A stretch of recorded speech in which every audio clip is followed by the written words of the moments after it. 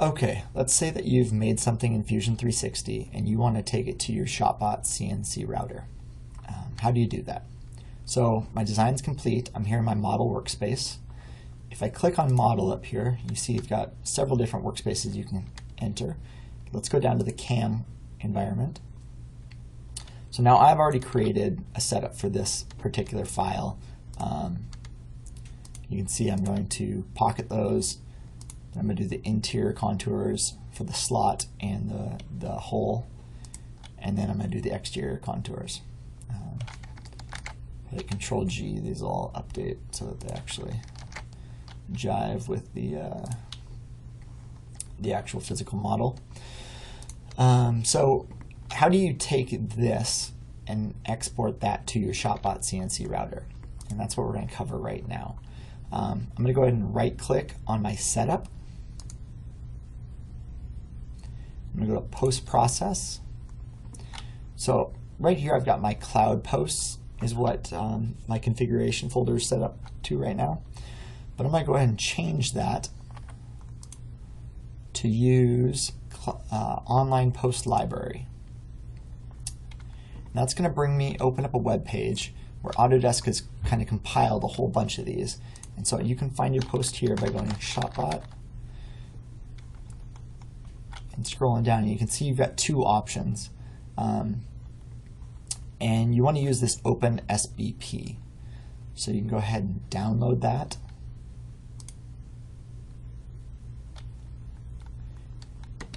And then once you come back, I'm actually going to go into show it in the folder,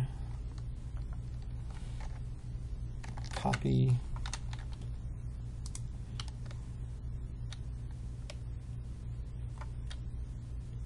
and then now that I'm back in Fusion 360, uh, one little trick you can do is open up your, your data panel, get to the root of your projects, scroll all the way down to the bottom, double click on your assets, and then under CAM posts, I'm going to upload from a download folder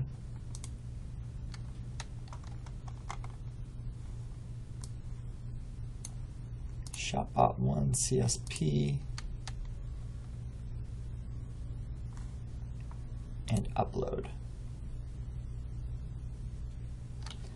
So what's that that's doing is actually putting it on the cloud so no matter which machine I'm at, if I'm logged in on Fusion 360 under my username, this post processor will always be available to me.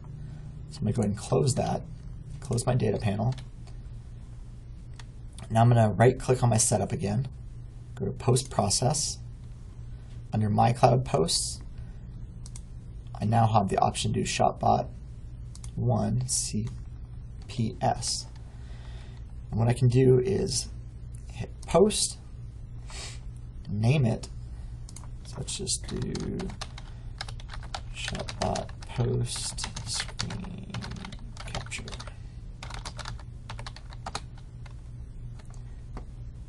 And that's going to open up, and that's got all the uh, callouts already for the ShopBot. So you can just run over your machine, plug that in, and you'll be good to go.